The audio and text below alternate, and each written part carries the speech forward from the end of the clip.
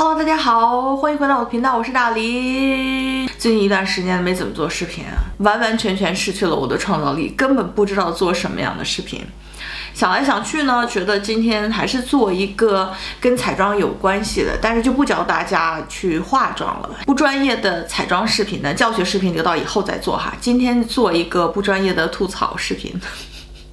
我吐个槽总行了吧？吐槽不需要有什么专业的背景才可以做吧，对不对？今天这个话题呢，就是关于彩妆的购买。我呢，就是呃，也是跟很多欧美我 follow 的 YouTuber 看他们做的相关话题，我得到他们的启发。他们就做过一个叫做 Makeup I'm Not Buying in 2021，就是说在二零二一年我不会去购买的彩妆品。然后我当时觉得，哎呀，太好了，因为我有好多东西不想买，刚好可以唠一个。呃，这方方面的视频吧，希望大家会喜欢，发泄一下我对于 消费的一种一种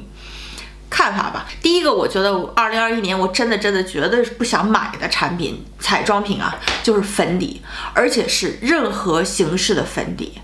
因为我发现呢，其实我个人使用粉底的速度真的是极慢极慢的，平均来说呢，至少得一年，而且是。我非常非常喜欢这款粉底，然后就是无可替代，别的都不想用，只想用它的这种情况之下，如果说没有什么太大意外，即使是一个我很喜欢的粉底，也最少是两年才能用完一瓶，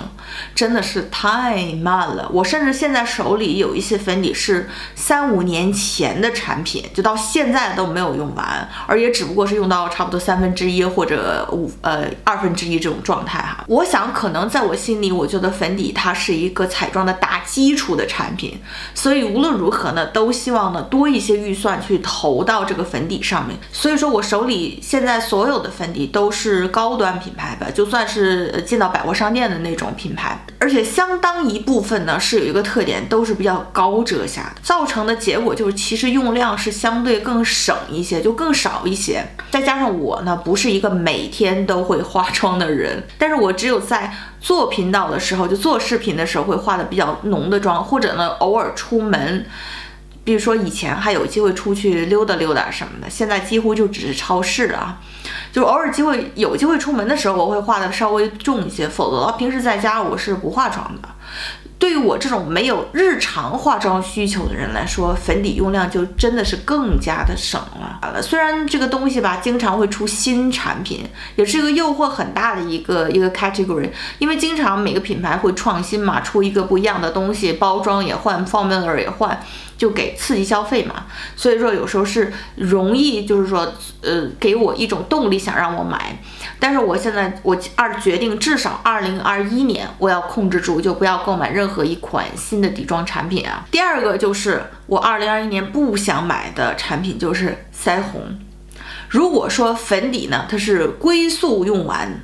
但它至少还是有速度的，对不对？腮红到目前为止，我这人生我就没有用完过一块腮红。我只有摔碎过一块腮红，就很早很早以前，我有一款兰蔻的腮红，让我给摔碎了，最后就扔掉了。彩色产品啊，它每年它会都会出一些新的，质地比较好的。对我来说哈，我手上也有几块的，就是之前我买的那个苏库他们家的几块腮红啊，给大家看一下啊，就是经常出镜率还蛮高的，就这这四块，一二三四。其实我这之外还有一块单独的在盒子里的，我觉得。确实是，真的是颜色我也有了，质各种质地的我也有了，呃，不太需要购买新的产品，而且到现在为止，我的腮红没有一块儿，咱就不说出什么铁片了，哪怕是出个坑的都没有，所以真的是使用量。极少就很难用完一块，如果再买的话，也是就是堆积我手里现有的这个产品的数量而已。所以我觉得至少二零二一年不需要再购买。第三个二零二一年我不想购买的产品呢，就是眉笔和睫毛膏这两个 category。我觉得真的就是这种产品哈，眉笔和睫毛膏不需要呢。去囤不同颜色、不同品牌的好几款产品，就是一样就有一个就可以了。眉笔不需要多囤的原因，是因为除非你经常换发色，否则的话，你对眉毛的颜色的要求是比较单一的。那如果除非你是需要染一些颜色，比如说你会染染一些呃红一点的。眉呃头发啦，或者染一些黄一点的头发了，那你的眉发眉毛需要根据这个变色，但是也不是说今天和明天是完全不一样的颜色，所以不需要备太多不同的颜色，只要备当时适合你发色的这个眉毛的。眉笔就可以了。那么睫毛膏，我觉得不需要购买的原因，就是因为一个是处于卫生的原因，它非常，你刷睫毛这个东西，它很接近你的眼皮呀、什么泪腺呐这些东西。所以说睫毛膏呢，一般来说大家都是推荐三个月就扔掉了，就是出是从卫生的角度来。来推荐的，但我个人确实不是三个月就扔一支睫毛膏的人。我这人有可能是直到它干我都会一直用的。我会用到有一天突然眼睛难受，就觉得哎，好像最近眼睛有点敏感，然后想是什么原因呢？我就会想八成是睫毛膏的原因，就会把睫毛膏扔掉换新。否则的话，没有什么太大问题的话，我很少会三个月扔一次睫毛膏。这就是我个人彩妆习惯里，我唯一一个我觉得确实是不太好的习惯，就是让我觉得在卫生上我没有做到的习惯。但是如果是让我三个月扔一款睫毛膏的话，我真的就是经济上我是支撑不了的。嗯，所以说从卫生角度来说吧，我就不想手上囤太多不同的睫毛膏，我希望囤稍微就是说基本的纤长的、浓密的、卷翘的都有了，然后就不需要再另外购买了。所以说呢，睫毛膏现有的产品已经够用的情况之下呢，不要再去试其他新的或者买更多的睫毛膏，对我来说就是没有太大意义。所以也是这这也是所有的。产品里面我觉得比较好放弃的一个东西。第四个就是二零二一年我不想买的东西，就是 makeup wipes，就是所谓那种卸妆的湿湿纸巾哈。其实我一直对 makeup wipes 就是这个印象就不是特别好吧，因为我觉得它是一个挺伤皮肤的东西。即使你买的是价钱比较高，然后呢纸巾的质地是比较好的，嗯，我认为个人感觉，如果你的皮肤如果要想保持一个比较好的状态，最好就少。折腾它，少蹭它，少摩擦它，不要做什么 exfoliation 那种那种就是动作哈。我觉得做的越多，老化的越快，这是我个人的一种迷思哈。就我觉得就是这样，那是不是这样我不知道哈。所以我做到的就是尽量少去搓它。那我觉得 makeup wipes 这个东西，它本身就是除了一个出门旅行携带方便这一个优点以外呢，其他没有什么特别大的优点。嗯，而且很多，比如说 drugstore 就是。药店卖的，或者说是超市卖的那些品牌，像什么妮维雅之类的，他们的纸巾的质量也不是那么的好，所以用的时候其实挺粗糙的。我以前也用过几包，我用过 Simple 他们家的，用过妮维雅他们家的，后来我就觉得没有什么太大意思，就不想用了。因为其实他们只能卸脸部的妆，其实真正到了睫毛，尤其是那些比较狠的、比较猛的那种防水睫毛膏，他们也是卸不了的。睫毛无论如何都是要单独另外一个 category 去卸，所以说与其这样呢，还不如把睫毛。和脸干脆就分成两个，我的习惯就是睫毛就是用呃双层的那种卸防水睫毛膏的卸妆液去卸，然后脸呢就是用卸妆油来卸。我觉得这个是我个人使用下来觉得最爽的一个卸妆的程序。所以说，在我看来，Makeup Wipe 确实是没有什么太大的必要了。至于它会不会给这个地球造成额外的污染呢？那我无从考究哈。但是我觉得就是在我看来，这个东西其实挺鸡肋的，刚好就可以。完完全全不要去购买。第五个就是二零二一年我不想购买的，就是这个 celebrity makeup line，就是明星出的彩妆品牌啊。比如说你像我现在知道的，我听过的哈，有什么 Fenty Beauty 啊，Selena Gomez 他们，他好像也出了一个叫 Rare Beauty，Kylie Cosmetic 也出，然后还有那个 Lady Gaga，我记得好像也出，但我不知道他们家现在怎么样，好像是不行了。嗯，没很少听人说买呀什么的。其实蛮多明星都会做这个的，但是就我个人的喜好来说，其实我还真的是更喜欢呃 YouTuber 自己出的一些 makeup line，因为这呃可能是我的一种偏见吧，因为我觉得至少 YouTuber 呢还可以说。他们的背景最少要么就是确实真的是彩妆师，有一定的经验的彩妆师。即使他们不是彩妆师呢，他们也可以呢，绝对可以达到一个彩妆发烧友的一个级别哈。就是用的多了，你多少会有一点想法的，对不对？多少会有一点要求的。所以他们出的东西呢，我个我个人觉得可能会更适合，嗯，就是。老百姓，咱们普通的这些消费者使用，会比明星他出的那个东西呢，会呃方向可能会不太一样，因为明星可能他会更关注一些市面上什么卖的好，对吧？因为明星他只是它的作用是给这个这个品牌提供了一个 identity，同时呢也给这个品牌提供一些知名度。但是实际上到了产品本身的设计方向了之后呢，我觉得他们可能会更考更多考虑的是市场上需要的是什么，或者哪哪种产品卖得更好，所以他们会是随着市场去做的。那么 YouTuber 呢，也许会有相当一部分个人因素存在。你像有一些比较追求自然妆的 YouTuber，可能就会更。偏向于出一些自然的彩妆品。那么，如果说是一些化浓妆化的比较猛的那种 YouTuber，可能会更偏向出一些颜色更特别的一些彩妆品，他们更有一些自己的这个性格在里面吧。这是我个人的理解。举个例子，就类似于，呃，是一个厨子去开餐厅，和一个明星开餐厅，或者一个食物评判的专家或者食评人去开餐厅，就是这基本就是一个道理。我觉得明星呢，他拥有的是个人的魅力和他在他自己专业的这个就是 field，他专业的这个。呃，领域里他自己的实力，但是这个东西它跟餐厅或者说跟美妆，它没有直接的，就是那种关系的。我个人是觉得啊，在他们自己领域本领域内得到的。就是说荣誉，我是绝对认可的。但是如果他跨界的来做一个东西呢，那我就没有那么大的信心了。所以说，在我嗯嗯跟明星没有特别大的感情的这个关系中，就是我没有追星的这个前提之下呢，我就基本上没有太大的动力去购买这样产品。所以我个人觉得，如果这种情况就失败率会比较高了，除非是为了频道啊，为频道做这个内容啊，嗯，否则的话，其实这种产品对于像我这样的人来说，性价比并不是很高的。第六个就是我二零二一年不想购买，其实我一直以来都没有买过这样产品。这个其实这句这个东西说了就跟没说一样哈，我是不想购买大盘子。就是我能想到的，比较喜欢做这种比较大的牌盘子的这个专业的线的饰彩妆师品牌，比较爱做这样的东西。比如说像是那个 Natasha Denona 啦，呃 VZR 啊，还有那 Pat McGrath 啊。其实中国也有不少这种大盘子的品牌啊，但是因为我接触不到国货嘛，离这边购买不方便，所以说我能想出来的例子都是就是欧美的一些品牌。我觉得如果说是眼影吧，稍微还好一点，但是，呃，哪怕是腮红盘也可以。其实我最怕的就是大盘子的是什么呢？一个大盘子里有很多的高光色，或者那种很多的修容色，就一看这每一个颜色呢，就只适合一种肤色的人。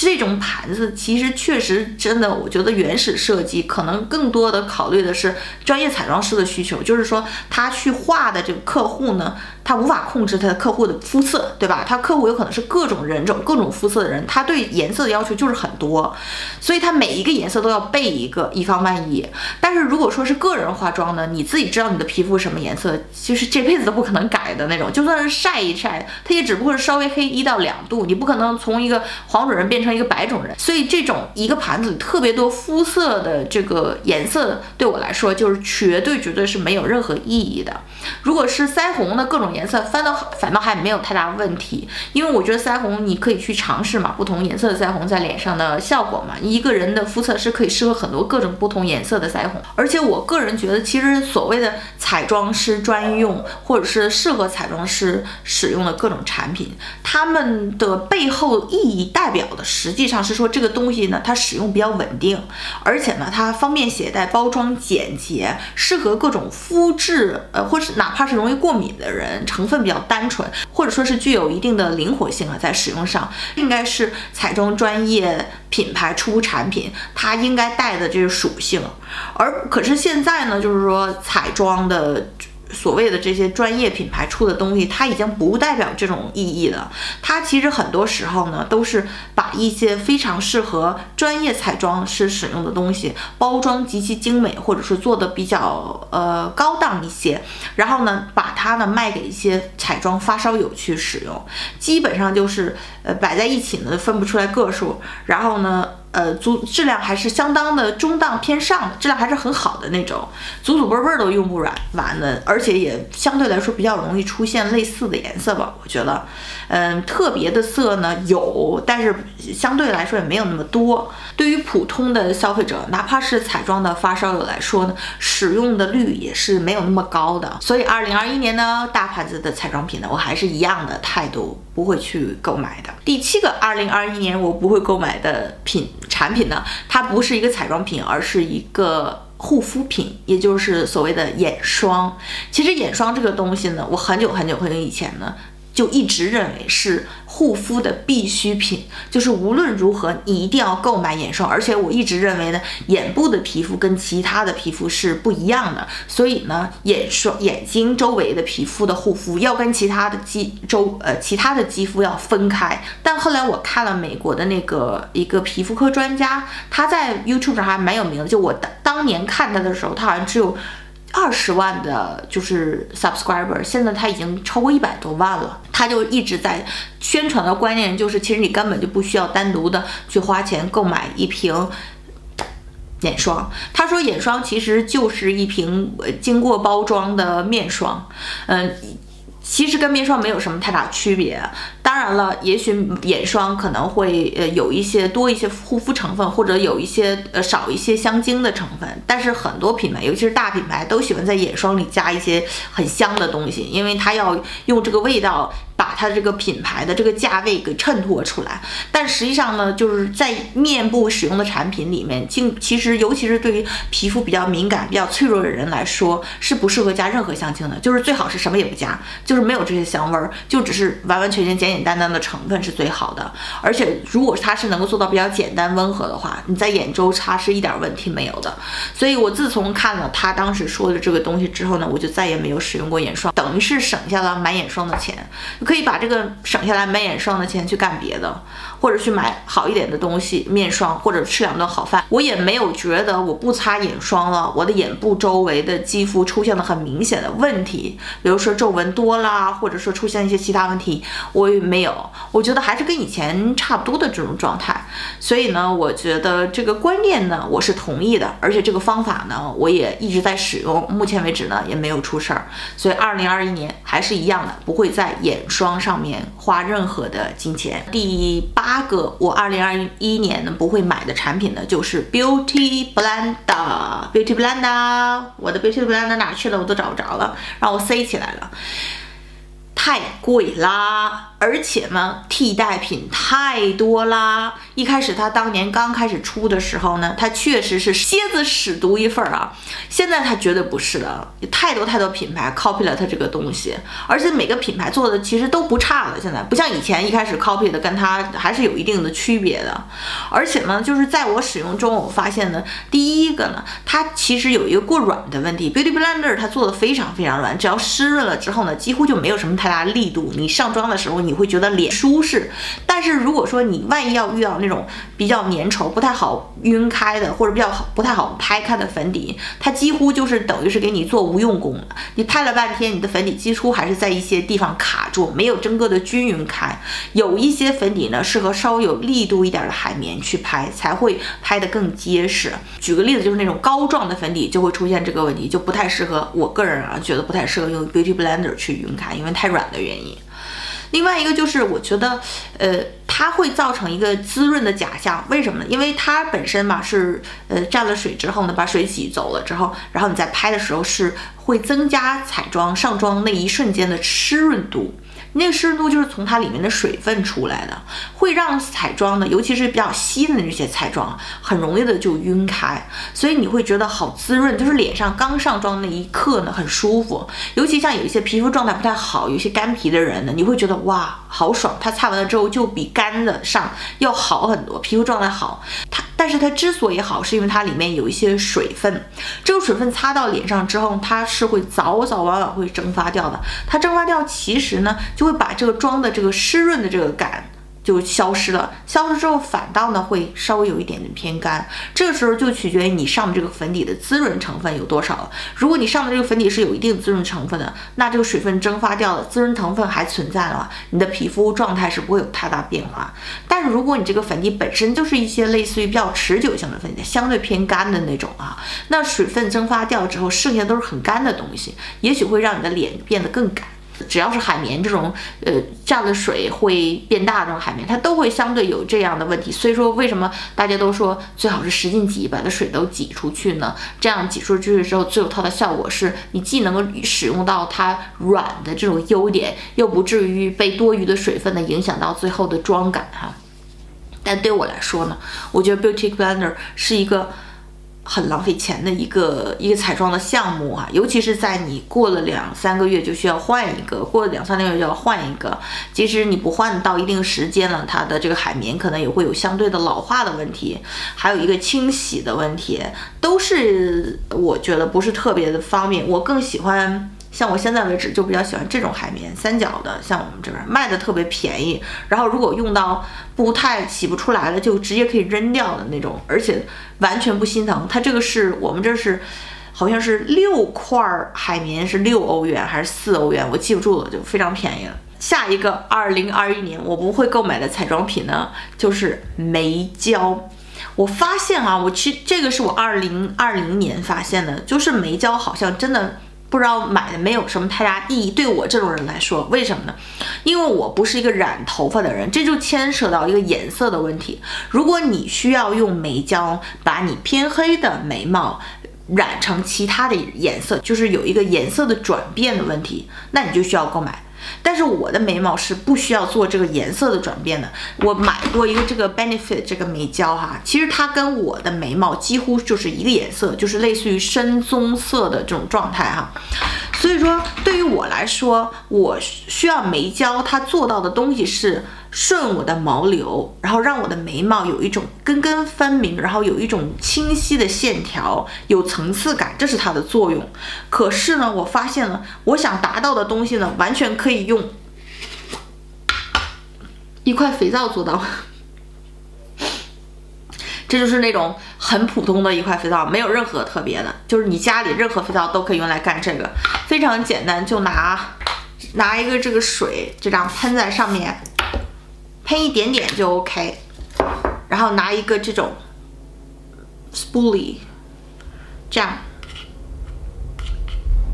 蘸到这样白了吧，然后你就这样顺着你的眉毛去刷，它的定型效果呢比这样的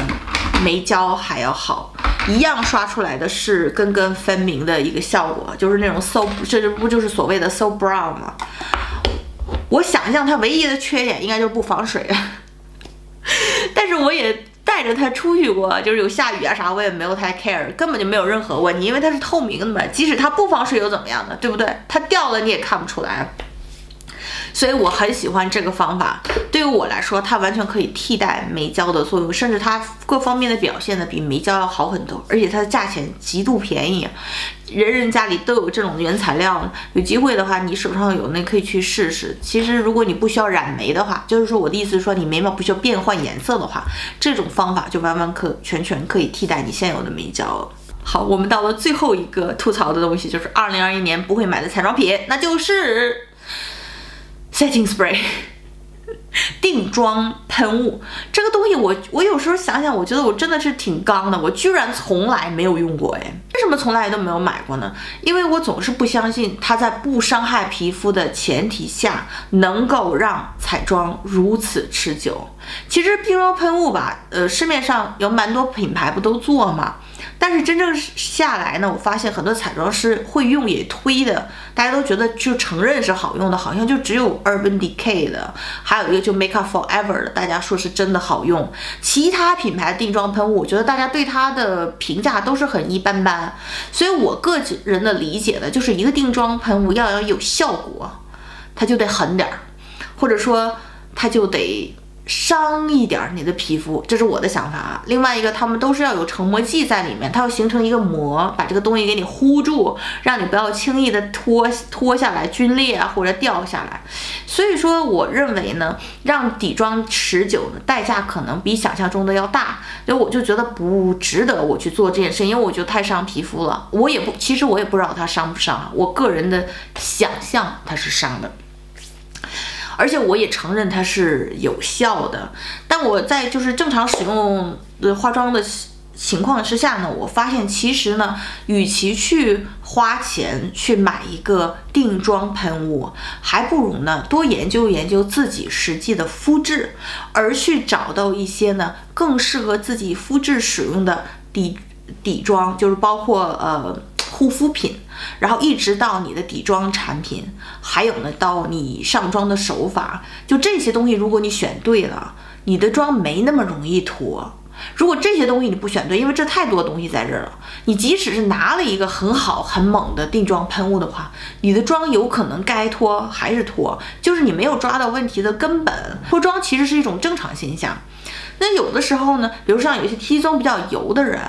只要擦一层。就是那种吸油的蜜粉，就在上底妆之前擦，然后你再上妆，它也可以做到帮你就延迟你脱妆时间的一个作用，而且是非常自然的，就不太伤皮肤的这种方法。所以你一定要找到可以，你为什么脱妆？你要找到脱妆的原因，对吧？然后你再想有没有必要去买一个